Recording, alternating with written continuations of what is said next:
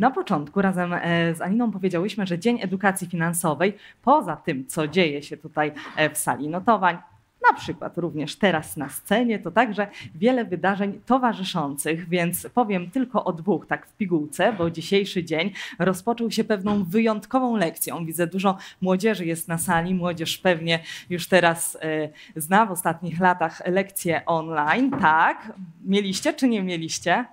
Były lekcje online, ale dzisiaj wydarzyła się taka wyjątkowa lekcja online. Była ona zatytułowana Jak giełda papierów wartościowych zmieniła polską gospodarkę. O historii i przyszłości giełdy okiem pierwszego prezesa GPW, którą poprowadził oczywiście wspomniany już e, dzisiaj dr Wiesław Rozłucki. I ja mam już dane, mam już e, liczby. Okazuje się, że w tej lekcji udział wzięło prawie 5 tysięcy uczniów i nauczycieli szkół ponadpodstawowych, dokładnie 4700 osób dzisiaj rano usiadło przy komputerach, przy telefonach, tabletach, więc bardzo serdecznie dziękujemy i przypominamy o transmisji online. Jeżeli e, internauci nas teraz oglądają, są zadowoleni, a na pewno tak, to zachęcamy także do przesłania tego linku do swoich znajomych, rodziny, bo czeka nas jeszcze wiele godzin bardzo ciekawych treści. A drugie wydarzenie równocześnie w budynku zwanym dawniej Domem Partii, gdzie mieściła się pierwsza siedziba giełdy po transformacji ustrojowej, trwa także spotkanie studenckich kół naukowych, które reprezentuje aż 11 uczelni wyższych z całej Polski. A teraz, widzę, że scena już gotowa, zapraszamy do wysłuchania debaty oksfordzkiej. Poprowadzi ją Natalia Moskwa z Krakowskiego Stowarzyszenia Mówców. Oddaję głos, witamy gorącymi brawami.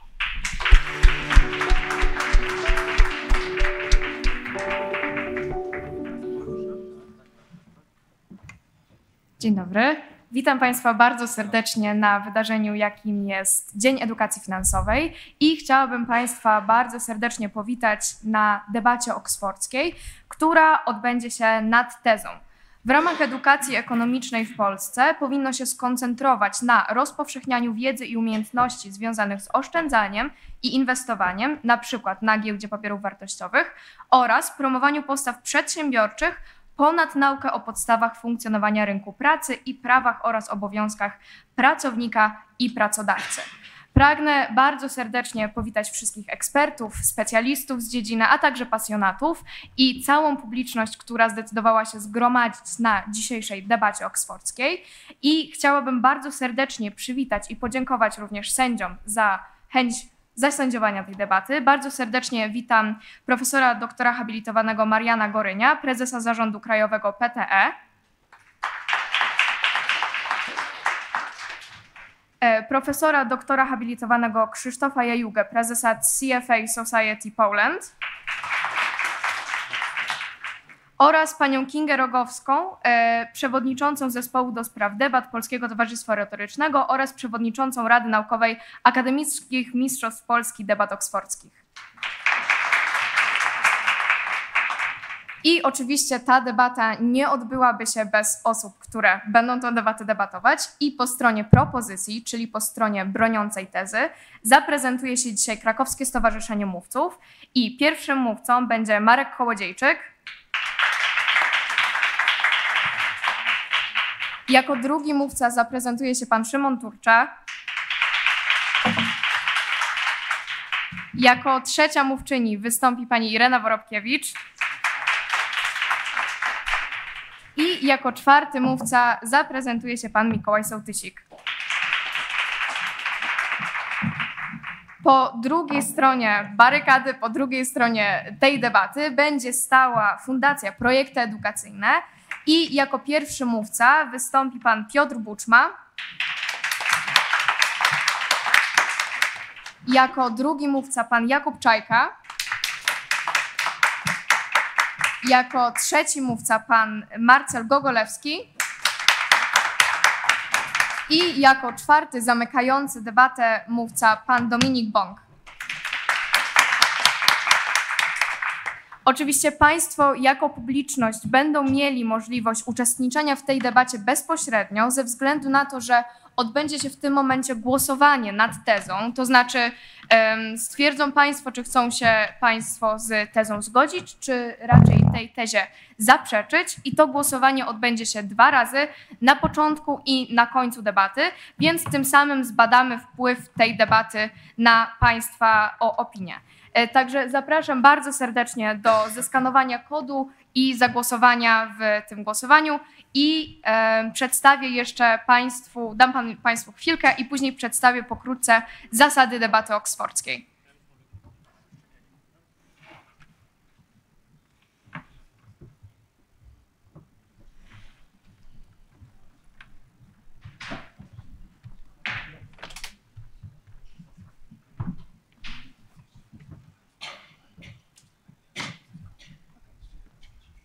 Jeżeli ktoś miałby problemy ze, ze skanowaniem y, tego kodu, to można y, wejść na stronę, która jest wyświetlona na ekranie i wpisać ten kod, który znajduje się zaraz y, pod spodem.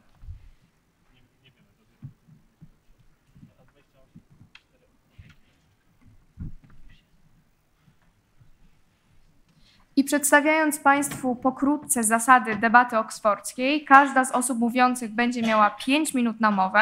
Będziemy wypowiadać się w formule pierwszy mówca drużynę propozycji, później pierwszy mówca drużynę opozycji itd. itd. Każdy mówca ma obowiązek przyjęcia dwóch pytań bądź dwóch informacji i informacje lub pytania będą sygnalizowane podniesieniem ręki przez mówcę, który chce to pytanie zadać. Przysługuje każdemu, e, każdej drużynie przysługuje także formuła tak zwana ad vocem, to znaczy wygłoszenia minutowej informacji po zakończonej mowie. Przypominam, że ad vocem nie można zgłaszać do mów czwartych i nie może zgłosić ad vocem osoba, która ma rozpocząć mowę po mowie, do której zgłaszana jest ad vocem. Czy drużyny zgadzają się co do tezy, którą zaprezentowałam? Dobrze, bardzo się w takim razie e, cieszę i zapraszam do rozpo... Słucham pytania. ponieważ my zgłaszamy pytania, no ale nie, nie widać z mównicy nas. Jeżeli gdybyś siedziała z tamtej strony, to mogłabyś sygnalizować, że jest pytanie, żeby widz wiedział, że jest. Okej, to będę w takim razie e, sygnalizować, że jest pytanie pomachaniem i również będę sygnalizować tak zwany czas chroniony, czyli czas, w którym nie można zadać już pytania. Będę go sygnalizować podniesieniem białej kartki, e, ze względu na to, że nie można mi uderzać w stół. E, I koniec mowy będę sygnalizować pomachaniem kartki. I proszę, żebyście sygnalizowali ad vocem w taki sam sposób. Jak kiwnę wam głową, to znaczy, że widziałam i przyjęłam ad vocem. W takim razie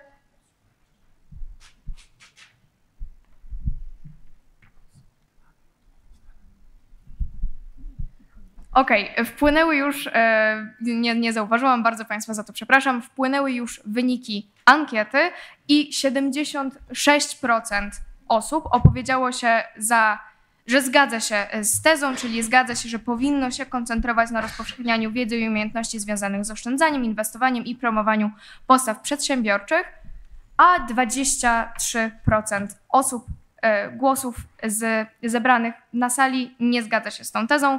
Jestem bardzo ciekawa, jak rozłoży się mm, ta statystyka po zakończonej debacie. Także przejdźmy już do samej treści e, retorycznej i zapraszam do wygłoszenia pierwszej mowy e, pierwszego mówcę drużyny propozycji.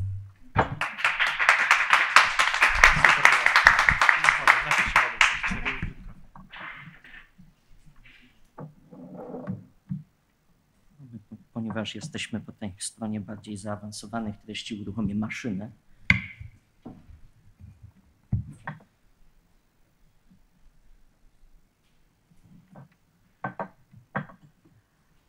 Szanowni Państwo, drodzy gospodarze, drodzy e, jurorzy, e, oponenci, przyjaciele. Będziemy dzisiaj rozmawiać i tutaj przyznam się do e, kradzieży własności intelektualnej na temacie właśnie inwestycja, w którą wiedzę przyniesie nam największe odsetki, tak jak zapowiadała, e, e, jak była zapowiedź przed debatą. Który nacisk, które priory- priorytetyzowanie którego aspektu edukacji przyniesie więcej korzyści. Powinniśmy kierować się w postulatach społecznych tego, jak powinniśmy organizować państwo i społeczeństwo, w tym, co przynosi temu społeczeństwu więcej korzyści. To w zupełnie podstawowym znaczeniu tego, co powinno się robić. Korzyści musimy rozważać z perspektywy osób, które są dotknięte edukacją i podmiotami, a docelowo, które z niej wychodzą. To jest osobami, które są edukowane w aspekcie ekonomicznym, a to jest elementem powszechnej edukacji na, na wszystkich poziomach w zasadzie. E, docelowo osobami, które wychodzą na rynek pracy i będą w nim uczestniczyć jako pracodawcy, pracownicy, e, przedsiębiorcy wszystkich tych e, grup, jednostki każdego rodzaju będą obejmowały korzyści które postulujemy, że będą większe, dalej idące, jeżeli nacisk na edukację ze strony tego aspektu rozpowszechnienia wiedzy, umiejętności związanych z oszczędzaniem, inwestowaniem i przedsiębiorczości, ponad te treści podstawowe o rynku pracy i, i systemie ekonomicznym. Mm, natomiast wychodząc e, szerzej niż tylko jakie korzyści będą miały te jednostki, nie możemy zapominać o tym, że rozmawiamy w kontekście Polski i systemu edukacji w określonym porządku prawnym, gospodarczym, w gospodarce rynkowej z silnym sektorem usługowym. Jaka jest rola edukacji, jaką powinno się ją prowadzić? Przede wszystkim, drodzy Państwo, e, poza tym, że powinna koncentrować się na tych wiedzy i umiejętnościach, które zapewnią jednostce, w tym przypadku w kontekście ekonomicznym, E, większe szanse, większe korzyści, e, większą możliwość osiągnięcia dobrobytu, bycia e, bardziej produktywną albo produktywną, lepiej po prostu pracującą i uzdolnioną jednostką. To mówimy również o tym, że w gospodarce rynkowej edukacja służy, zobaczcie mi Państwo takie towarowe porównanie, produkcji kapitału ludzkiego na wyższym poziomie zaawansowania. Potrzebujemy bardziej wykwalifikowanych, lepiej funkcjonujących, więc lepiej wykształconych, również co do tego, jak należy poruszać się po rynku e, osób. W związku z tym będziemy argumentować, że korzyści, o których mówimy, będą dotykały tak jednostek, człowieka, e, który funkcjonuje w gospodarce, ale również e, szerzej będzie to miało w jakimś stopniu skutki społeczne i skutki na stan gospodarki państwa.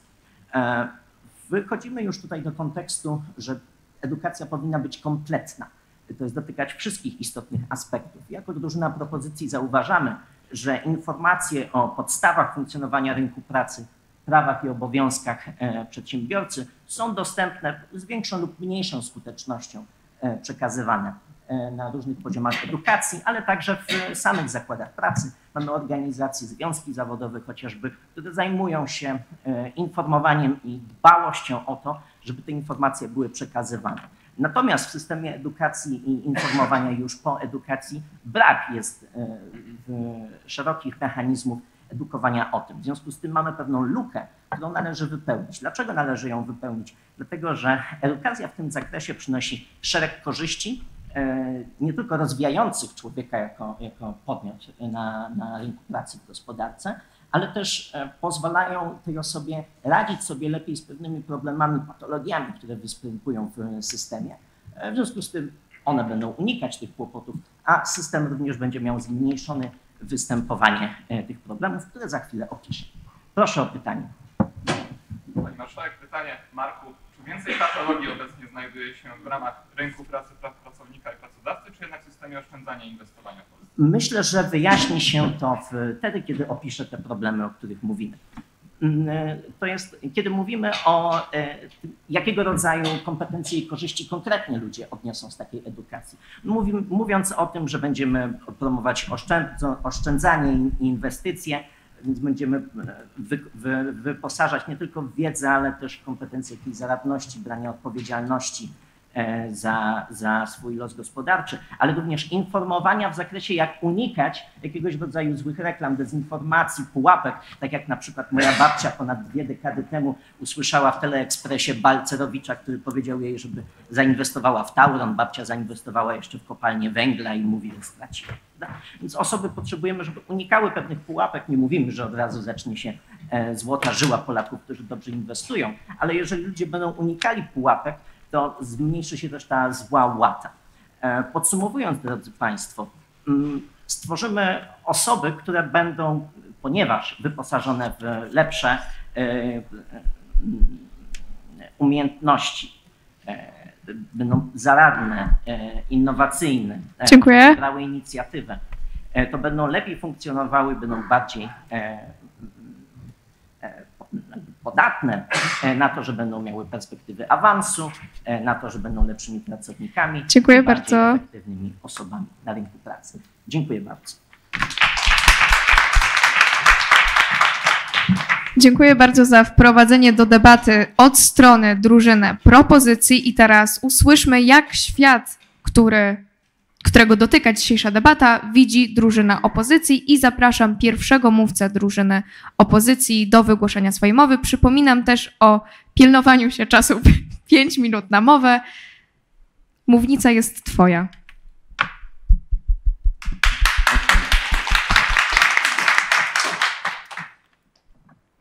E, Szanowna Pani Marszałkini, szanowni oponenci, szanowna moja drużyno i przede wszystkim szanowni goście zgromadzeni na e, tej zacnej sali. E, Szanowni Państwo, e, mamy problem. Znaczy, mamy tych problemów naprawdę bardzo sporo w naszym kraju, ale ten jeden problem, o którym dzisiaj debatujemy, jest pewien deficyt. Jest to deficyt wiedzy. Jest to deficyt wiedzy Polaków na temat ekonomii, na temat funkcjonowania gospodarki i na temat funkcjonowania właściwie rynku pracy. I teraz, Szanowni Państwo, e, my będziemy przekonywać Państwa do tego, że powinniśmy skupić się przede wszystkim na edukowaniu Polaków e, w zakresie właśnie podstawowego funkcjonowania rynku pracy i praw pracowniczych. Dlaczego? Dlatego, że dotyczy to wszystkich. Szanowni Państwo, aktorem naszej debaty e, są Polacy. I teraz postaram się scharakteryzować takiego Polaka, o którym będziemy dzisiaj rozmawiać. Proszę bardzo o pytanie. Szanowna Pani Marszałkini, pytanie, czy przez to, że to dotyczy wszystkich, to ludzie nie są skłonni szukać takich informacji na własną rękę? Są skłonni szukać tych informacji na własną rękę, ale za chwilę przedstawię, że jakby problem, na którym my będziemy się skupiać, jest dużo, dużo większy. Dlaczego? E, Badania jasno pokazują, większość Polaków o ekonomii wie niewiele. Większość Polaków nie wie, jak funkcjonuje e, rynek. Większość Polaków nie wie, jak funkcjonuje giełda.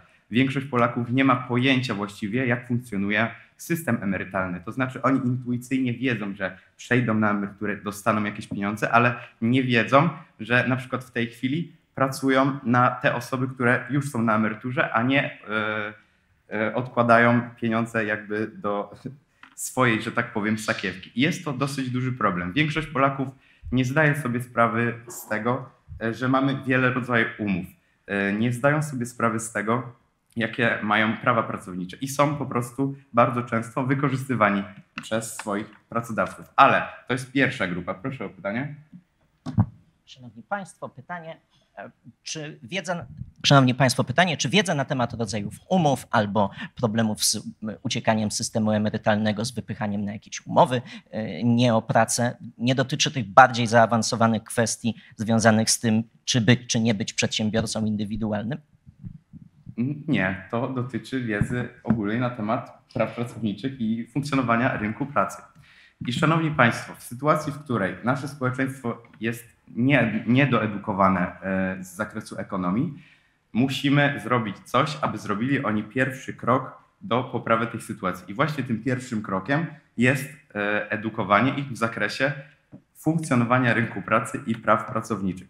E, I z dwóch stron można na to patrzeć, ponieważ z jednej strony dzięki naszym rozwiązaniom zyskają, zyska duża grupa pracowników, która będzie miała większą świadomość e, siebie na rynku, większą świadomość na temat swoich praw, ale również obowiązków, ale zyskają również przedsiębiorcy i e, pracodawcy, którzy będą e, mogli więcej egzekwować od swoich pracowników. I w ten sposób doprowadzimy do poprawy tej sytuacji.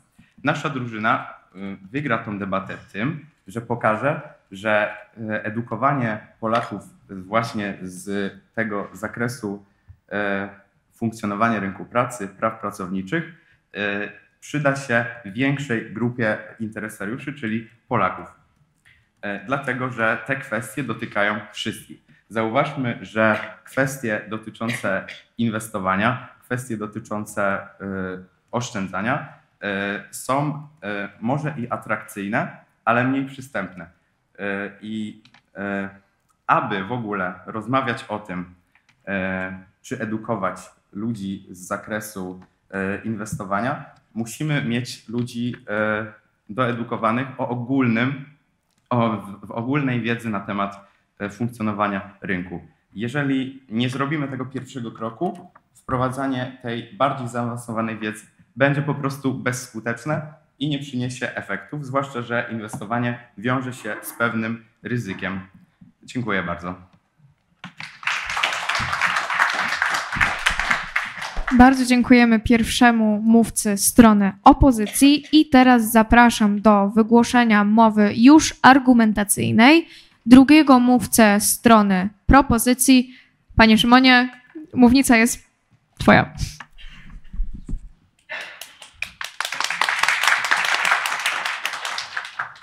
Szanowni Państwo, problem i diagnoza tego, jak wygląda społeczeństwo, mówiąca o tym, że mamy za mało informacji, w XXI wieku, gdzie mamy systemy informatyczne, które zbierają dosłownie całość informacji wrzuconych do internetu y, przez ludzkość, gdzie y, mamy problemy fake newsów, jest po prostu nieprawdziwa. To znaczy, mamy problem w społeczeństwie, ale on nie wynika z tego, że wiedzy nie ma, tylko nie ma umiejętności, kompetencji selekcjonowania informacji, o czym więcej powie Irena, a to jest inherentny element promowania postawy przedsiębiorczej, myślenia krytycznego, po prostu analizowania tego, jak wygląda nasze otoczenie. Nie wiedza jest tutaj problemem, ale fakt, że nie umiemy się do tej wiedzy dostać, ale to tylko wtedy, jeżeli problemem, o którym chcemy tutaj dyskutować, jest to, że faktycznie patologie na rynku pracy, patologie wynikające z tego, że kucharz w gastro pracuje jako umowa o dzieło, a jego dziełem jest przyjście do pracy i zrobienie tortu, albo że tirowiec pracuje jako B2B, jako firma, wynajmując swój, swój pojazd y, i jeżdżąc po prostu, wożąc jako firma transportowa, to jest patologia, która znowuż nie wynika z wiedzy,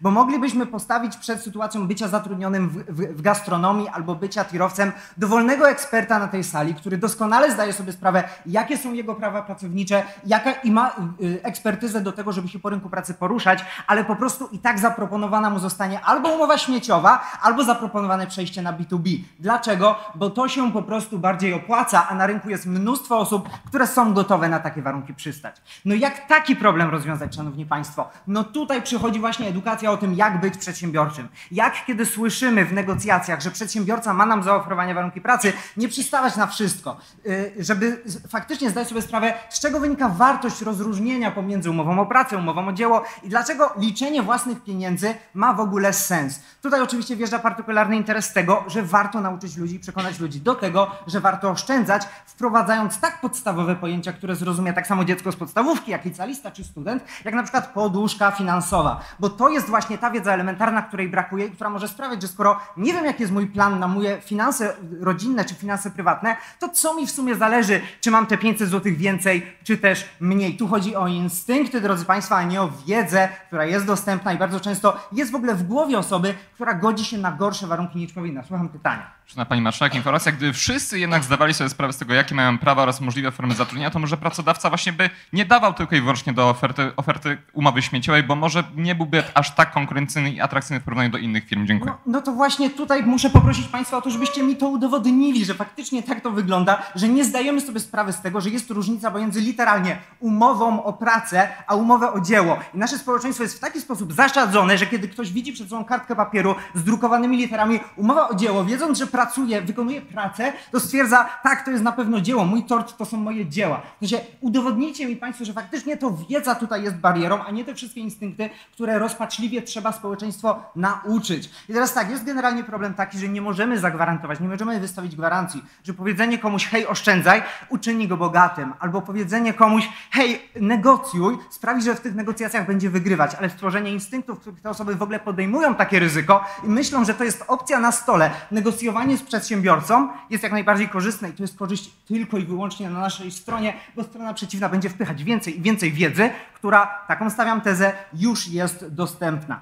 Ale porozmawiajmy o innym partykularnym zysku tego, że powiemy młodym ludziom, jest ok założyć firmę, jest ok przegrać, zaryzykować, masz jakieś finanse, spróbuj je zainwestować na przykład na giełdzie i to niezależnie od tego, czy one je stracą, czy też zyskają, a w przypadku firmy, czy ta firma odniesie sukces, czy też nie. Słucham pytania.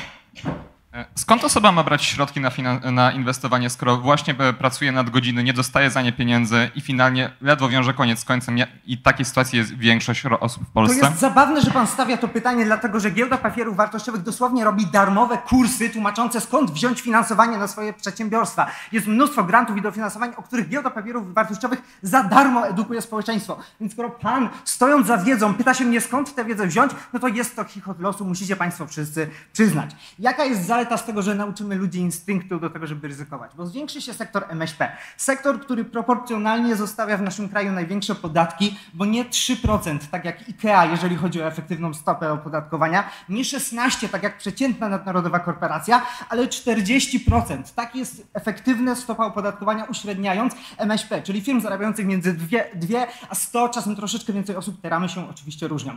Tego sektora nam w Polsce potrzeba, bo zysk podatkowy wynikający z tego, że ludzie próbują próbują robić własne biznesy, to jest zysk dla nas wszystkich i nawet poprawienie edukacji, która stoi niby po stronie opozycji, dlatego że tej edukacji i przedstawienia więcej wiedzy jest nam potrzebne, chociaż jak już udowodniłem, odpowiadając na pytanie, kurczę, większość tej wiedzy jest zupełnie darmowa i bardzo mocno dostępna. Natalia Machasz, także po prostu nie mogę dalej mówić. Dziękuję Państwu bardzo.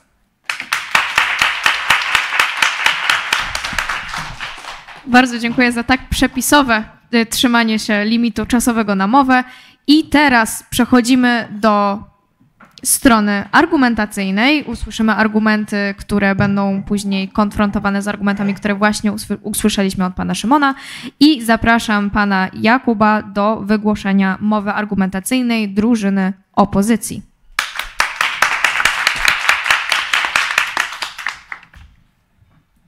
Szanowni Państwo, dzień dobry, szanowna Pani Marszałkini. Pozwolę sobie rozpocząć na początku od pewnego zdementowania, żebyście Państwo nie mieli tutaj takiego przekonania, że my tylko i wyłącznie chcemy poszerzyć zakres wiedzy. Dokładnie ten sam mechanizm tego pozyskiwania wiedzy funkcjonuje po naszym rynku pracownika, funkcjonowania tego rynku, zarówno jak i po stronie propozycji. Znaczy, my mamy dostęp dokładnie do tej wiedzy, tak samo jak drużyna propozycji, tylko właśnie musimy nauczyć się jej selekcjonować.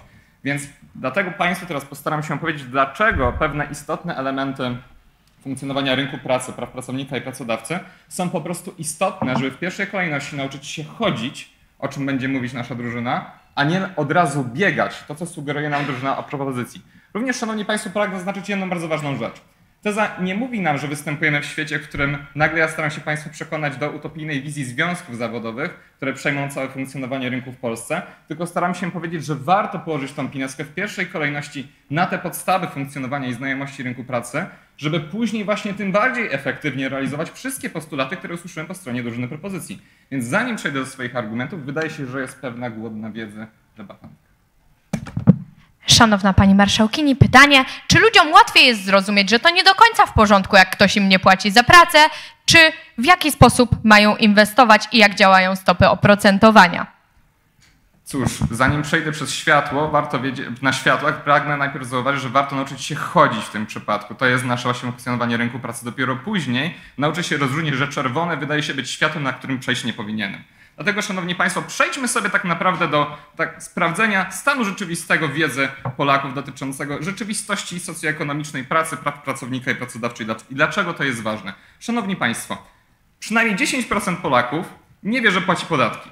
Przynajmniej kilka procent Polaków wie o tym, przynajmniej ma takie przekonanie, że Unia Europejska sponsoruje wszystkie działania ich państwa. Przynajmniej kilkadziesiąt procent Polaków nie zdaje sobie sprawy z tego, jakie są, jakie są konsekwencje praw oraz obowiązków umowy, na której są zatrudnieni.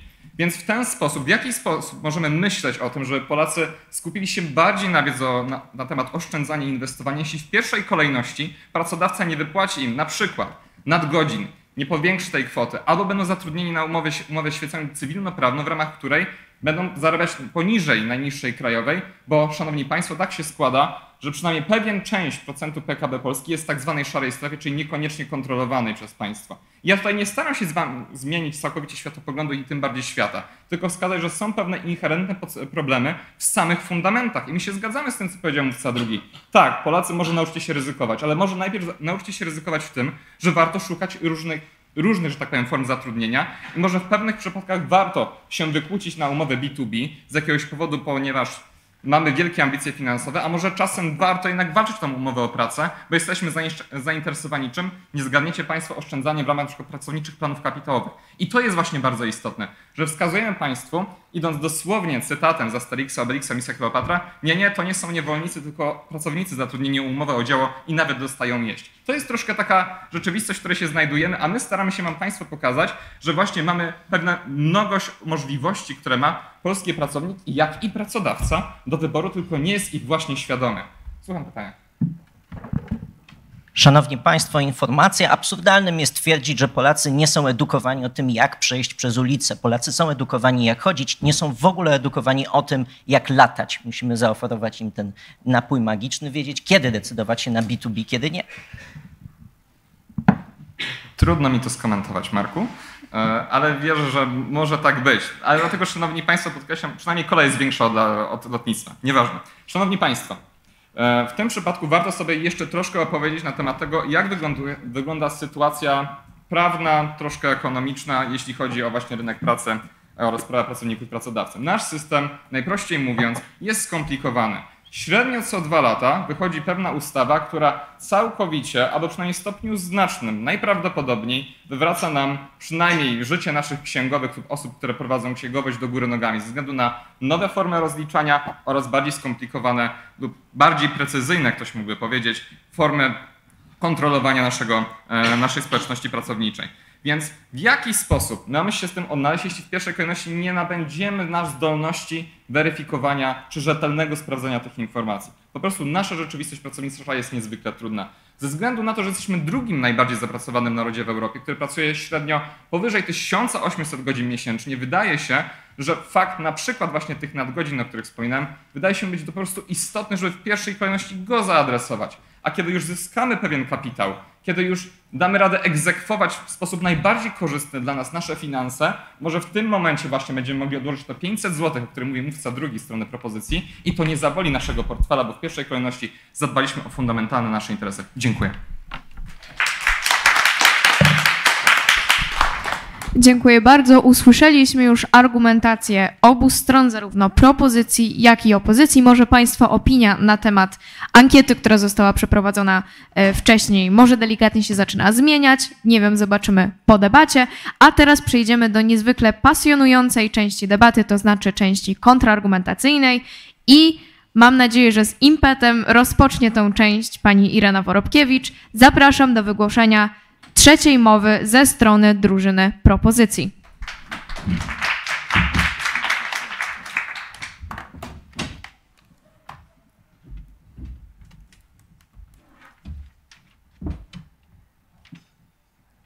E, szanowni Państwo, ja zanim jeszcze sobie pozwolę zacząć mowę, chciałabym z góry Państwa przeprosić, jeżeli w którymś momencie zaczęłabym kaszleć. Niestety e, dwa dni pracy w Sejmie na turnieju debatanckim w klimatyzacji sprawiły, że moje strony głosowe nie są w najlepszej kondycji.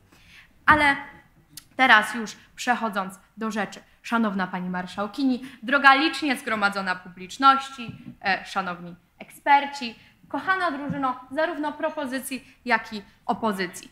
E, postaram się Państwu wytłumaczyć, co wydarzyło się w tej debacie i dlaczego to, co próbuje nam e, w pewien sposób wcisnąć strona opozycji, to po pierwsze bardziej kwestia e, nauki o oszczędzaniu i o promowaniu postaw przedsiębiorczych, a po drugie to jest taki troszkę niespełniony e, sen każdego, kto żyje w naszym kraju. Szanowni Państwo, zacznijmy od początku, od tego, co już Szymon zapowiedział, że poruszę. Problem zbyt dużej ilości informacji. To nie tak, że tych informacji nie ma. Naszym problemem jest cwaniactwo i nieumiejętność ich selekcjonowania. I szanowni Państwo, e, przejdźmy najpierw do nieumiejętności selekcjonowania, bo to jest e, ta prostsza kwestia. E, umiejętność selekcjonowania informacji, umiejętność wybierania tych informacji, to jest umiejętność szczególnie cenna w naszym współczesnym świecie, ale to jest też umiejętność, która będzie się nam mieściła w tym promowaniu podstaw przedsiębiorczych. Ale, szanowni Państwo, o co chodzi z tym cwaniactwem? Student godzący się na umowę, która niekoniecznie jest dla niego korzystna, nie godzi się na nią dlatego, że nie rozumie, że ta umowa jest dla niego niekorzystna. On rozumie, że ta umowa jest niekorzystna, ale również rozumie, że nikt inny nie da mu pracy. albo że wszędzie dostanie tak samo niekorzystną umowę. Szanowni Państwo, tu jest problem przedsiębiorców, którzy chcą korzystać i e, którzy e, próbują w ten sposób się wzbogacić, a nie braku wiedzy. Proszę o pytanie. Szanowna Pani Marszałek, informacja w retoryce nazywa się to fałszywa alternatywa, to znaczy nasz student jest w stanie pójść do pracy, gdzie dadzą mu po prostu umowę i zapłacą nawet tą najniższą krajową i tak znajdzie się też pracodawca, który da poniżej najniższej krajowej, więc sytuacje są jednak różnorodne, a nie jedno zero-jedynkowe. Wszyscy wiemy, że sytuacje są zero-jedynkowe, ale wszyscy również wiemy, że sami mamy znajomych z dużym doświadczeniem, którzy szukają pracy na przykład 3 miesiące i chcąc zgodzić się na godne warunki, nie mogą takiej pracy znaleźć. Szanowni Państwo, nie wierzmy w to, że rynek pracy w Polsce działa tak, że jeżeli ktoś chce pracę i ma dobre chęci, to dostanie dobrą pracę, bo to jest oczywista nieprawda. Ale Szanowni Państwo, idźmy dalej. To nie jest tak, że ludzie nie rozumieją, że nie jest to w porządku, że nie płacą im za pracę, po prostu czują się zmuszeni do godzenia się na to. Ale idźmy dalej. E, przyjmę pytanie. Szanowna Pani Marszałek, informacja. Mamy również kupę znajomych, którzy przy, kiedy przychodzą do pracy i dostają informację, hej, może zostaniesz jeszcze godzinę, to nie będą wiedzieli, że za tą godzinę powinni dostawać więcej pieniędzy, ponieważ nigdy nawet tej umowy nie przeczytają. I to nie jest związane z tym, że nie chcą jej przeczytać albo że wiedzą, że tych pieniędzy nie dostaną, bo stracą pracę, tylko nie są świadomi o takich zapisach. Szanowni Państwo, no znowu ustalmy jedną rzecz. E, Jeżeli ktoś nie chce się doedukować, to nawet jeżeli będziemy się koncentrować na tej edukacji, nie będzie tego robił. A dokładnie taki przykład podał nam e, mówca drużyny opozycji. Dosłownie powiedział, że to nie jest tak, że oni nie chcą przeczytać tej umowy, ale nie wiedzą, że mogą ją przeczytać. No szanowni państwo, ustalmy sobie jedną rzecz. Od dziecka mówiono nam, nie podpisuj czegoś, czego nie czytasz. Jakby znalezienie tych informacji naprawdę nie jest trudne i jeżeli ktoś nie chce ich szukać, to ich nie znajdzie, nawet jeżeli się skoncentrujemy na ich rozpowszechnianiu. Ale szanowni państwo, idźmy dalej. Ludzie myślą, że Unia finansuje świat i nie wiedzą, jak działają podatki. Szanowni państwo, tutaj e, zbliżamy się znowu do e, kolejnego problemu. Znowu, kwestia działania podatków, czy kwestia tego, że e, ludzie myślą, że Unia finansuje świat, to jest kwestia, która będzie bardziej leżała po stronie e, wiedzy związanej z inwestowaniem, wiedzy związanej z przedsiębiorczością, czy wiedzy związanej z oszczędzaniem, a niekoniecznie wiedzy na temat rynku pracy. E, Skomplikowany system. Szanowni Państwo, jeżeli system jest skomplikowany i zmienia się co dwa lata, to znaczy, że edukacja, którą proponuje drużyna opozycji, wcale nie będzie wybitnie skuteczna, bo musielibyśmy tych ludzi co dwa lata ściągać od nowa i uczyć ich wszystkiego po raz kolejny. Ale szanowni Państwo, idźmy dalej. Są inne formy edukacji, e, zwłaszcza o prawach pracowniczych, takie jak chociażby e, dział zasobów ludzkich w większości firm zagranicznych, związki zawodowe, kodeks pracy, etc. Szanowni Państwo, umiejętności i instynkty, tak jak już tłumaczył Wam Szymon, są po naszej stronie, tak samo jak oszczędzanie. Ale ja powiem Państwu jeszcze jedną rzecz. Dlaczego należy się skupić konkretnie na rozpowszechnianiu wiedzy, która, tak, zgadzam się, ze stroną drużyny opozycji jest trudniejsza, dlatego że to jest właśnie ta wiedza, której jeżeli ktoś nam nie wytłumaczy, to my po obejrzeniu krótkiego filmiku, na przykład na TikToku, wciąż nie posiądziemy. Ale jeżeli zobaczymy sobie filmik typu, nie wiem, prawo Marcina, ej, to nie jest spoko, żeby ludzie ci nie płacili za pracę, to całkiem jesteśmy w stanie to zrozumieć, bo to jest dla nas intuicyjne. W sensie wystarczy, że zobaczymy plakat, że zobaczymy jakąkolwiek zdawkową dawkę informacji, bo my nie musimy rozumieć do końca, jak działają prawa pracownicze, żeby intuicyjnie rozumieć, co jest dla nas dobre, co jest dla nas złe, ale jeżeli ktoś nam nie wytłumaczy, jak należy inwestować, to my albo zainwestujemy jak babcia Marka, albo nie będziemy inwestować w ogóle, tylko trzymać pieniądze w skarpecie do końca naszych dni. Dziękuję bardzo. Dziękuję bardzo za wygłoszenie trzeciej mowy y, ze strony drużyny propozycji i zostało zgłoszone do tej mowy ad vocem i zapraszam drugiego mówcę na minutowe, krótkie, dynamizujące debatę wystąpienie. Zachęcam również drużynę propozycji do zgłoszenia ad vocem do ad vocem, ewentualnie ad vocem do mowy trzeciej i zapraszam, minuta jest twoja. Szanowni Państwo, w formule adwocem. Szanowni Państwo, tak zróbmy sobie pe- pewne sprawdzenie rzeczywistości. Czy to jest tak, że w momencie, w którym ja nauczę się oszczędzać, bo z jakiegoś powodu nabędę tą wiedzę, to w tym momencie zacznę na przykład inwestować faktycznie na giełdzie. Myślę, że pewien procent osób na pewno to zrobi, ale ja przynajmniej jako młody Polak chodzący na rynek oszczędzania i inwestowania w pierwszej kolejności pójdę, gdzie na przykład inwestowanie IKZE, czyli obligacje, stówka miesięcznie i w tym momencie mam pewną świadomość, że buduję swój, e, swój kapitał oszczędzania. Czy musiałem pobierać jakieś specjalne lekcje związane z oszczędzaniem i inwestowaniem? Nie. Mój kolega Kamil po prostu mi powiedział, że kiedy czytał sobie pewne, pewien artykuł w internecie, nauczył mnie tego. Gratuluję, właśnie nauczyłem się oszczędzania. I ten mechanizmy tak samo funkcjonują i po naszej stronie. Zgadza się, pewne podstawy prawa pracownika jesteśmy w stanie znaleźć tak w internecie. Ale nagle się okazuje, że kiedy mam wejść w dosyć skomplikowany mechanizm, na przykład widełek płacowych, albo konkretnego e, progów podatkowych, to sytuacja zaczyna się robić coraz trudniejsza. I my Wam mówimy, Szanowni Państwo, że znacznie szybciej nasza sytuacja będzie trudniejsza po stronie pracownika i pracodawcy na tym podstawowym poziomie, zanim my w ogóle zaczniemy inwestować faktycznie duże sumy na giełdzie, bo zanim dojdziemy do tego etapu, minie dużo czasu. Dziękuję. Dziękuję bardzo i za moim zachęceniem zostało zgłoszone adwocem do adwocem i jest to ostatnie adwocem, które może zostać wygłoszone podczas tej debaty. Zapraszam panią Irenę do wygłoszenia tej formuły.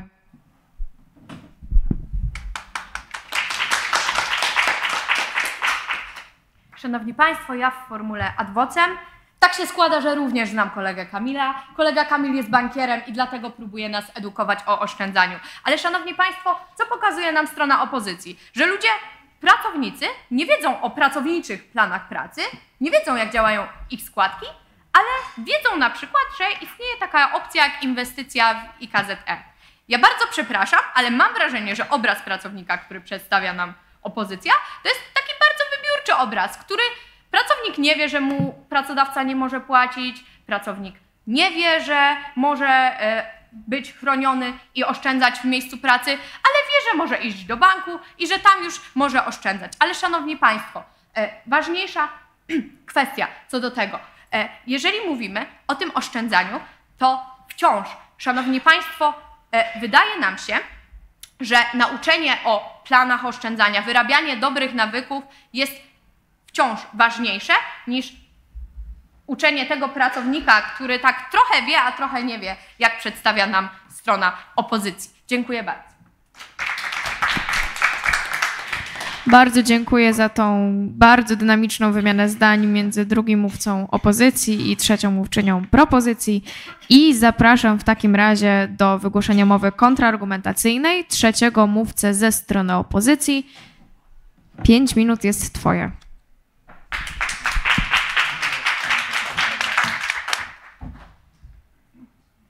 Szanowni Państwo, nim zacznę, pozwolę sobie jeszcze odpalić swój własny czas, żeby mniej więcej orientować się, w której części mowy się znajduję. Dobrze. Szanowna Pani Marszałkini, szanowni wszyscy zgromadzony, droga strono y, propozycji. Więc y, swoją mowę chciałbym zacząć od takiego chyba najbardziej, mam wrażenie, ognistego tematu w tej debacie, czyli tematu informacji skąd w zasadzie te informacje mamy, albo w zasadzie co z tymi informacjami robimy. Więc przede wszystkim strona propozycji mówi nam o tym, że informacje o inwestowaniu, oszczędza, e, nie inwestowaniu, oszczędzaniu, tylko w zasadzie o tych pełnych prawach pracowniczych jesteśmy w stanie znaleźć w internecie, chociażby na jakichś mediach społecznościowych. To znaczy, że ona jest szeroko dostępna.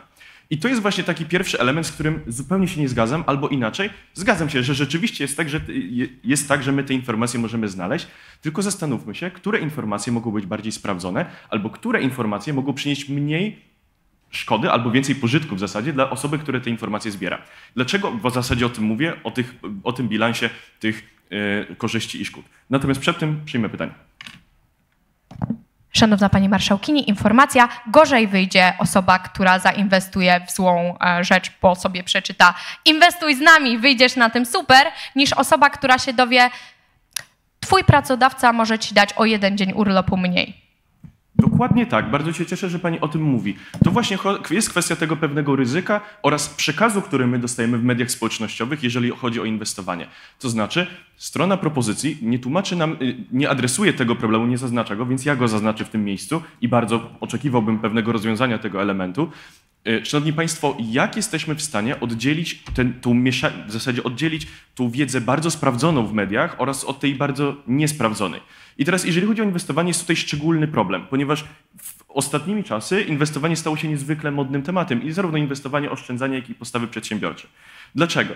Ponieważ ludzie zauważyli, że jest to inwestowanie na papierze jest czymś bardzo, bardzo prostym, ponieważ wygląda dla osoby, która nie ma o tym żadnego pojęcia, wygląda w sposób taki, że wkładam gdzieś pieniądze i wyciągam dużo więcej. Wszyscy wiemy o tym, że tak to nie wygląda. Tym samym ilość informacji, którą mamy o inwestowaniu jest dużo większa, ponieważ jest dużo bardziej atrakcyjna, natomiast jest dużo więcej tej wiedzy, która jest zupełnie błędna, która doprowadzi tylko i wyłącznie do tego, że my stracimy pieniądze zamiast je zyskać. Było pytanie, przyjmę. Szanowna Pani Marszałek, pytanie, dlaczego, dlaczego Państwo, proszę wyjaśnić, dlaczego kolega Kamil miałby być wystarczającym albo lepszym źródłem informacji o skomplikowanej tej wiedzy, którą Pan wspomniał, niż system edukacji? Szanowni Państwo, y, zadam takie pytanie Państwu oraz drużynom. Czy nie mają Państwo wrażenia, że odchodzimy trochę w tej debacie do takich anegdotycznych przykładów? Ja w swojej mowie nie chciał się odnosić tego, do tego, ponieważ chciałbym skupić się na elementach rzeczywiście, które opisują całe społeczeństwo i do, y, dotyczą tego całego społeczeństwa. Oprócz tego chciałbym zacząć od tych podstaw przedsiębiorczych, o których mówi strona propozycji, propozycji w taki bardzo entuzjastyczny sposób, że ona w zasadzie wyjaśnia nam wszystkie elementy, które my chcemy w zasadzie przekazać w naszej stronie, zawiera je wszystkie i odpowiada na wszelkie inne problemy ekonomiczne Polaków, w tym y, jeżeli chodzi o to. Szanowni Państwo, chciałbym zauważyć i chciałbym, żeby Państwo również zauważyło, że postawy przedsiębiorcze oraz kwestia możliwej analizy informacji, kwestia nawyków itd., tak itd. Tak jest tak szerokim terminem, że do postaw przedsiębiorczych możemy według propozycji zaliczyć wszystko, co, co, co jest związane z edukacją ekonomiczną.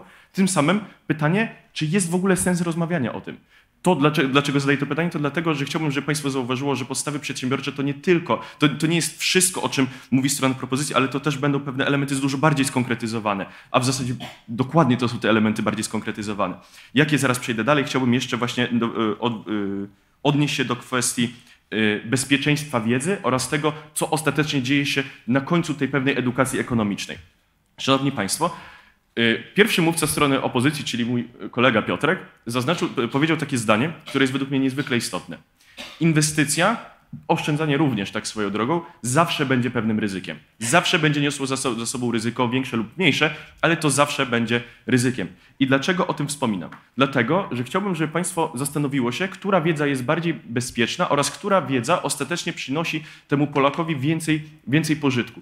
Czy wiedza, której rzeczywiście dowiaduje się o tym, że gdy pracuje nad godziny, pracodawca musi mu zapłacić należytą kwotę, czy wiedza, w której potencjalny Polak, który ją wykorzysta, jest niezwykle ryzykowna, szczególnie, że szczególnie osoby, które wiedzą i inwestują, wiedzą doskonale o tym, że. E, dziękuję, nie przyjmę więcej pytań, przyjąłem już dwa. E, wiedzą o tym, że. Wybiłem się z rytmu, przepraszam bardzo. E, że czy ludzie wiedzą o tym, jak bardzo ryzykowne są inwestycje i jak, w co inwestować, żeby rzeczywiście pieniędzy chociażby nie stracić? No i przechodząc dalej, chciałbym odnieść się jeszcze do kwestii pracodawcy, ponieważ o tym mam wrażenie, że wspomnieliśmy najmniej, a jest to również istotny element, jeżeli chodzi o, y, o, o, o rynek pracy. Szanowni Państwo, pracodawcy również powinni wiedzieć o tym, jak działają pewne elementy, elementy rynku, o tym, jakie mają oni obowiązki do pracowników oraz jacy, jakie pracownicy mogą oczekiwać, żeby, jakie obowiązki muszą jakie rzeczy pracownicy mogą oczekiwać od, od pracodawcy do tego, żeby im wspólnie żyło się dobrze na tym rynku pracy. Dziękuję bardzo. Bardzo dziękuję i tym sposobem zakończyliśmy część kontrargumentacyjną e, po obu stronach tej debaty i zapraszam do podsumowania tej debaty, zestawienia argumentacji, kontrargumentacji i światów przedstawionych ze sobą pana Mikołaja Sołtysika. Zapraszam na mównicę.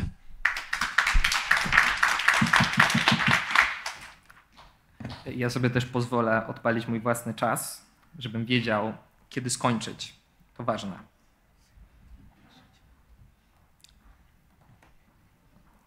Szanowni Państwo, droga marszałkini, szanowne grono sędziowskie, no wielce zgromadzona publiczności, drużyna propozycji, drużyna opozycji. Ja zacznę może od tego, że trochę nam tak przypomnę w ogóle, o czym jest ta debata, bo my się bardzo w tym pogubiliśmy, mam takie wrażenie. Bo zgodziliśmy się w trakcie, na same już na pierwszych mowach, że mamy pewną lukę w nauczaniu. Mamy lukę w nauczaniu takich umiejętności miękkich, które są związane właśnie z tym, o czym mówimy, czyli z inwestowaniem i oszczędzaniem, i mamy lukę z takimi twardą wiedzą, czyli tą wiedzą o prawach pracowniczych. I to jest to, nad czym my się zastanawiamy, czy lepiej jest inwestować w naukę tych umiejętności bardziej powiedzmy miękkich, czy bardziej w te umiejętności, które są twardą wiedzą dotyczącą rynku pracy. I teraz tak, ważne założenie, które, które musimy przyjąć, to nie jest tak, że jeżeli my będziemy czegoś nauczać, my od razu nauczymy się wszystkiego. To tak po prostu nie działa i to jest dość logiczne i też mam wrażenie w tej debacie trochę o tym zapominamy. Musimy skupić się na tym, co w głowach zostanie nam i czego będziemy mogli używać jak najdłużej jak najlepiej. I słucham pytania. Szanowna, szanowna Pani Marszałek, apel do publiczności. To nie jest tak, że wiedza, która prezentuje różne propozycje jest jakaś miękka i tylko i wyłącznie, a nasza jest twarda. Raczej jesteśmy na pewnym spektrum obydwu tych wiedz, więc nie wychodźmy tutaj taką fałszywą dychonomię. Nasza jest bardziej miękka niż wasza. E, więc przechodząc. Musimy, ja zważę to wszystko przez kryterium przyjęte przez drużynę opozycji, czyli po pierwsze, celem ma być pierwszy krok, a po drugie mamy ważyć przez to, jak na dużą ilość wpływają te zmiany. No i przejdźmy sobie do tego ważenia, bo główną osią sporu w tej debacie było to, co się stanie, kiedy będziemy uczyć ludzi jednego lub drugiego. Państwo mówili o tym, że my chcemy nauczyć biegać, a Państwo chcą najpierw nauczyć chodzić. To tak nie działa. My chcemy nauczyć ich czytać podręcznik do chodzenia, a wy dajecie im taki suchy podręcznik, który mają przeczytać, nie wiedząc dokładnie, jak go czytać. Ponieważ aktor, aktor tej debaty, czyli pracownik, po waszej stronie dostaje suchą wiedzę dotyczącą tego, jak funkcjonuje rynek pracy, a po naszej stronie uczymy go tego, jak z takiej wiedzy korzystać. I teraz, w takiej sytuacji, w takiej sytuacji, przez to, że zyskujemy umiejętności, które są generalnie umiejętnościami generalnymi właśnie w kwestii przedsiębiorczości, lepiej możemy z tego korzystać i w naszym świecie pracownik po prostu lepiej korzysta ze swoich praw. Słucham. Szanowny pa, Pani Marszałek, informacja, do, dokładnie taką samą wiedzę jak Wy prezentujemy my, ponieważ jeśli nauczymy się, jak umowa o pracę wygląda, to możemy ją później wykorzystać. Tak samo jak Wy, jak dowiecie się, jak inwestować, po nie zainwestujecie. Dziękuję. E, przez całą tę debatę bardziej skupialiśmy się właśnie na tym, że my skupiamy się na tych umiejętnościach miękkich, wy zwracaliście uwagę na to, że skupiacie się na nauce wiedzy, więc to troszeczkę już za późno, żeby tak to uwarunkować. Ale w porządku, skupmy się w takim razie na tym, skoro mamy aktora, nie przyjmuje więcej pytań, jeżeli interesem naszego aktora jest to, żeby jego prawa pracy były jak najlepiej wykorzystywane, lepiej, żeby on wiedział, jak z nich korzysta, niż żeby tylko sucho je znał. W naszym świecie o wiele lepiej z tego korzysta. Przejdźmy sobie, to jest główna sporu tej debaty, ale my w tej debacie poruszyliśmy o wiele więcej różnych kwestii. Przejdźmy sobie do tej kwestii inwestowania. W naszym świecie uczymy tego, jak inwestować w jakikolwiek sposób. Padł taki anegdotyczny przykład tego, że pan drugi mówca wie, jak inwestować. Ja bardzo gratuluję tej wiedzy, ale no niestety większość ludzi takiej wiedzy nie posiada. I chodzi o to, żeby zgodnie z waszym kryterium jak najwięcej ludzi taką wiedzę posiadło. Jest to wiedza trudniejsza do posiadania niż wiedza o prawie pracy, ponieważ taką wiedzę podstawową mamy w jakiś sposób wszyscy. Czyli to jest ta luka, którą trzeba w jakiś sposób rozdysponować i o tym mówiliśmy na pierwszej mowie. Czyli skoro to jest takie ryzykowne i takie trudne, to musimy w naszym świecie ludzi tego nauczyć, w waszym świecie tego ludzi nie uczymy, to znaczy, że w naszym świecie taki człowiek po prostu ma lepiej, bo wie jak inwestować i zrobi to lepiej. Nie mówimy, że od razu zostanie świetnym inwestorem, ale że po prostu nie będzie głupio tracił pieniędzy i to już jest zysk dla naszego aktora. Oprócz tego poruszyliśmy także dwie kwestie dotyczące innych aktorów tej debaty, czyli pracodawców ponieważ dla pracodawcy liczy się to, żeby jego pracownik był jak najlepiej wykwalifikowany. My nie zakładamy, że wiedza o inwestowaniu i przedsiębiorczości przyda się tylko w inwestowaniu. To jest wiedza, która przyda się w bardzo wielu różnych aspektach, również w pracy. To znaczy, że taki pracownik, który wychodząc ze szkoły ma nawet minimalną wiedzę dotyczącą tego, czym są podstawy przedsiębiorcze, ma bardzo duże kompetencje do tego, żeby być przydatnym dla swoich pracodawców, co jest zyskiem dla pracodawcy, który w naszym świecie jest obecny, w waszym świecie tego zysku nie ma. I kwestia ostatnia, czyli kwestia tego, że to również skupiliśmy na tym na drugiej mowie, dojdzie nam do przynajmniej częściowego wzrostu przedsiębiorczości, zakładamy, że liczymy przedsiębiorczości, ten wzrost jest chociaż częściowy. To znaczy, że w naszym świecie mamy więcej małych przedsiębiorców, co ma pozytywne skutki, takie chociażby jak dla państwa to, że wzrosną wpływy podatków, chociaż minimalnie, ponieważ małe przedsiębiorstwa wprowadzają większe podatki niż wielkie korporacje, jak również dla całego społeczeństwa wzrośnie taki zysk, że będzie większa konkurencyjność, czyli będziemy mogli podejmować więcej różnych decyzji. My do tej debaty podeszliśmy w taki sposób, że wykazaliśmy bardzo dużo różnych korzyści dla wielu różnych grup, a wy na pierwszej mowie zgodziliście się, że to jest właśnie kryterium debaty, kto na tym skorzysta bardziej i co będzie pierwszym krokiem do podejmowania świadomych decyzji. I my to wykazujemy w ten sposób, że wykazujemy nasze kryterium, że po naszym świecie jest więcej korzyści niż szkód. Bardzo dziękuję. Bardzo dziękuję za zamknięcie tej debaty ze strony drużyny propozycji i do wygłoszenia ostatniej już mowy w tej debacie zapraszam czwartego mówcę drużyny opozycji.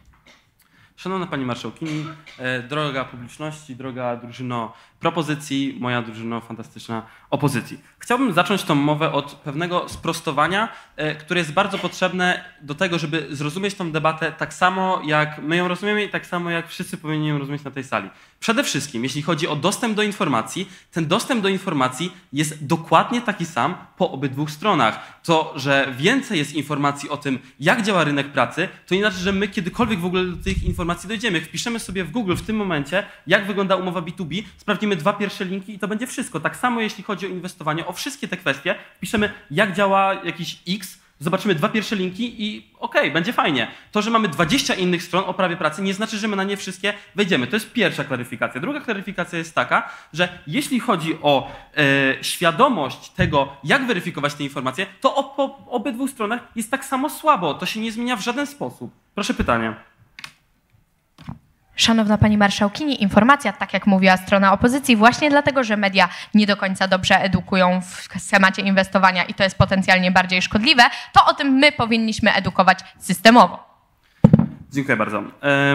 Dobrze, więc przechodząc do właściwej kwestii mojej mowy, czyli do podsumowania tego, co się tutaj wydarzyło i do takiego zważenia, trochę pokazania e, Państwu, jak wygląda e, ogólny, ogólny wygląd tej debaty. Na samym początku zgodziliśmy się na bardzo dużo kwestii. Myślałem, że to będzie bardzo przyjemna debata, dlatego że wszyscy się ładnie zgodziliśmy e, na to, kto jest celem tej debaty, jakie rzeczy są warunkiem. Natomiast to były warunki, które, z którymi my przyszliśmy. Natomiast drużyna propozycji nie wyszła nam z żadnym warunkiem zwycięstwa swojej debaty, nie powiedziała nam, jaki jest cel w ogóle tego zwycięstwa. Dowiedzieliśmy się parę ważnych rzeczy, jak wygląda polski system edukacji, że będziemy koncentrować się na szansach, które on może dla nas stworzyć, e, że będziemy patrzeć na to, jak radzić sobie z oszczędzaniem, e, że nie wiemy, jaka jest luka, znaczy, że my nie wiemy ogólnie, jaka jest e, luka, jak ją e, zapełnić i jak będziemy to robić. Natomiast my przyszliśmy z paroma konkretnymi postulatami, które już od początku zaczęliśmy wdrażać i nimi się posługiwać. Czyli to jest to, że musimy zacząć od podstaw. Chcemy zbudować piękny dom, piękny gmach, jak ten, w którym dzisiaj jesteśmy. Natomiast, żeby to zrobić, potrzebujemy postawić pewne podstawy.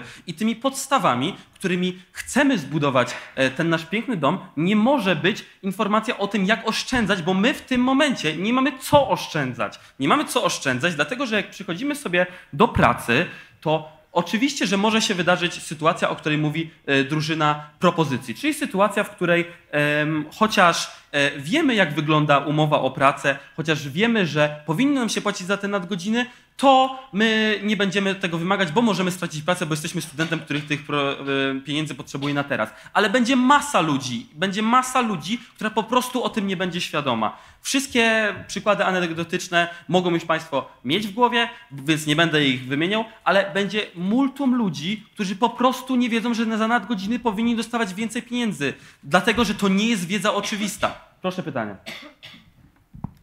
Takie pytanie odnośnie do tej metafory. Czy na pewno Państwo chcecie zbudować wielki gmach, bo przecież to duża inwestycja, duże ryzyko, zwłaszcza jeżeli mówi Pan konkretnie o tym gmachu, dosłownie, literalnie giełdy papierów wartościowych, która... Tak. Oczywiście, że chcemy właśnie do tego dojść, bo taki jest cel. My jesteśmy świadomi tego, że my idziemy do momentu, w którym chcemy zbudować wielki gmach, ale my w tej debacie nie dyskutujemy o tym, jaki jest, w sensie jesteśmy na pewnym etapie i ten etap jest dopiero budowaniem świadomości i edukacji ekonomicznej, a nie budowaniu tego gmachu. To jest etap, o którym nawet nie rozmawiamy w tej debacie. To jest o wiele, o wiele dalej. Więc porównując sobie nasze argumenty na pewnych płaszczyznach, E, wypisałem sobie, jak to można, mogło było wyglądać. Więc na jakich płaszczyznach, na, na czym my w ogóle tą debatę moglibyśmy wygrywać. Pierwszą z tych rzeczy jest prawdopodobieństwo tego, co się wydarzy. Prawdopodobieństwo wygląda tak, że w sytuacji, w której e, my przyjdziemy i nauczymy się w szkole, na studiach e, o tych prawach pracowniczych, to w naszej sytuacji my wykorzystamy tą wiedzę o wiele lepiej, bo każdy z Państwa na sali, każdy z nas, który tutaj siedzi, jeśli zacznie inwestować, to najpierw musi iść do pracy, żeby te pieniądze zarobić i on nie może zostać traktowany gorzej, dlatego że nie ma tej wiedzy, która jest mu potrzebna, żeby te pieniądze zarabiać tak, jak powinien. Dalej to jest skala, czyli to, jak dużo ludzi wykorzysta w ogóle tą wiedzę. Drużyna o propozycji mówi nam, że tej wiedzy wykorzysta po jej stronie więcej ludzi, ale jak to ma się wydarzyć, jeśli skala ludzi, która w ogóle wejdzie w inwestowanie, wejdzie w ten świat, jest o wiele mniejsza, bo w ich świecie nie, ci ludzie, którzy y, dostaną tą wiedzę, nie będą mieli tej potrzebnej wiedzy, którą my przekazujemy po naszej stronie, więc skala ludzi, którą my afektujemy, jest o wiele większa ze względu na to, że po prostu tą wiedzę wykorzysta więcej ludzi, bo tak jak mówiłem, każdy z Państwa, każdy z nas poszedł na samym początku do pracy. Niestety nie powiem o jeszcze jednej płaszczyźnie, bo trochę się zagalopowałem. Dziękuję za w ogóle możliwość mówienia tutaj. Myślę, że wszyscy jesteśmy bardzo wdzięczni, że moglibyśmy tutaj, mogliśmy tutaj być. Dziękuję Państwu za słuchanie i mam nadzieję, że się podobało.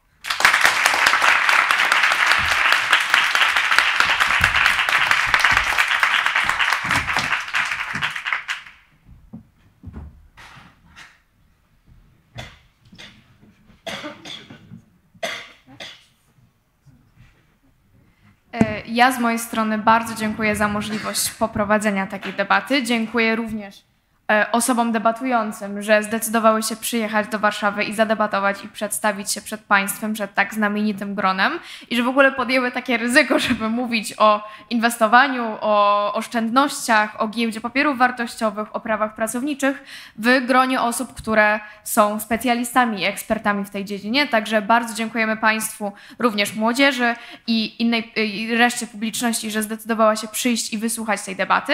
I teraz, tak jak mówiłam na początku, em, była przeprowadzona ankieta. I teraz zrobimy takie krótkie porównanie, jak ta ankieta wypada po wysłuchaniu już tej debaty, jak zmieniły się Państwa głosy po wysłuchaniu argumentacji i kontrargumentacji e, strony krakowskiej i strony poznańskiej.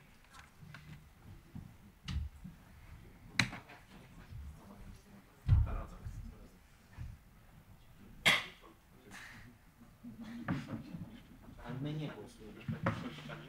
Nie. Nie, nie. A głosowałeś wcześniej? A.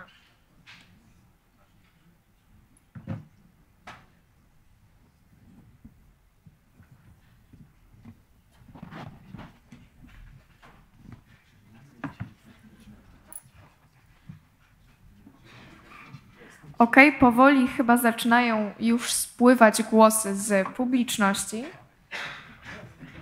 O, jak widzimy, drużyna propozycji zdecydowanie przekonała Państwa do tej tezy. Jednak głosy je, jeszcze spływają.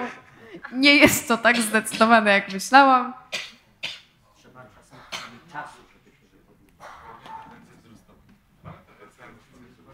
Powinnam się delikatnie wstrzymać. No jest inaczej niż przed.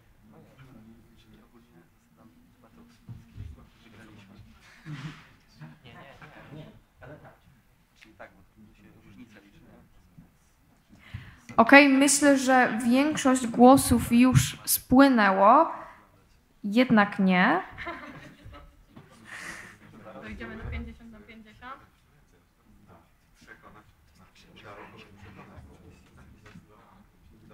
Tutaj takie bardzo e, adekwatne co do miejsca, w którym jesteśmy, e, oczekiwanie na wzrost i spadek pewnych, pewnych danych. Także tutaj dostałem informację, że wszystkie dane już spłynęły. Także ewidentnie udało się drużynie opozycji przekonać chociaż jeszcze e, część z Państwa do e, nieprawidłowości e, podanej tezy. I 34% osób z tą tezą się nie zgadza, a 66% osób z tą tezą dalej jednak się zgadza. I możemy to porównać do danych, które były mm, wcześniej, przed tą debatą, gdzie to mm, ta skala była 75 do 25. Także y, widzimy. Za tobą. Tak, tak, aha, okej. E, Także, o, tutaj jeszcze mamy piękne porównanie. Także jak wid- widzimy tutaj zdecydowaną tendencję wzrostową co do drużyny opozycji. Moje gratulacje, drużyna opozycji.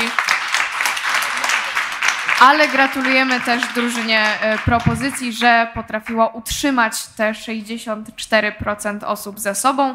Serdecznie gratulacje dla obu drużyn. I teraz chwilę czasu dla e, szanownych sędziów na naradzenie się, e, chwila przerwy, e, chwila odpoczynku od debat oksfordzkich i później wrócimy już na werdykt osób, które tą debatę sędziowały. Bardzo dziękuję.